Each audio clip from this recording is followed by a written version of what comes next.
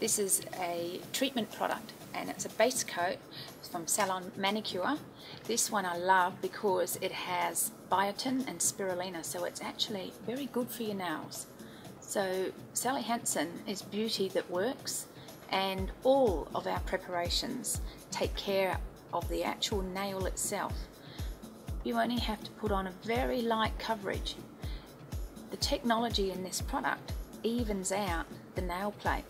We don't have to wait in between steps to make sure that the nail polish or the base coat is dry. We can easily just do the base coat very quickly and then we're very ready for the nail polish.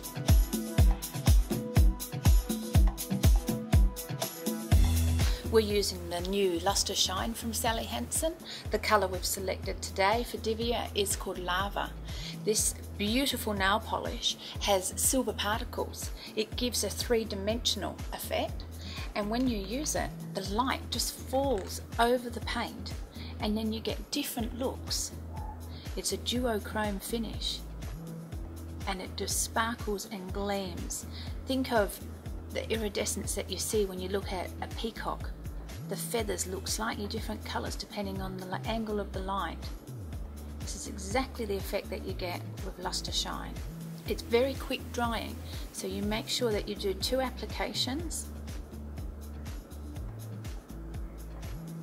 And we start at the cuticle and we go straight to the free edge, covering the nail with just three strokes of the brush.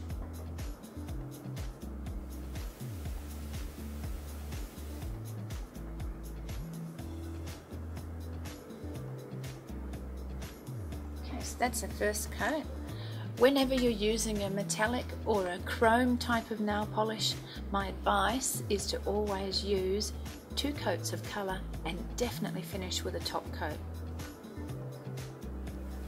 And a little professional hint for you, never take the polish too close to the cuticle. Try to be just away and then you'll make sure that it looks very professional. We're trying to do a DIY manicure ourselves at home but we also are inspired by the salons.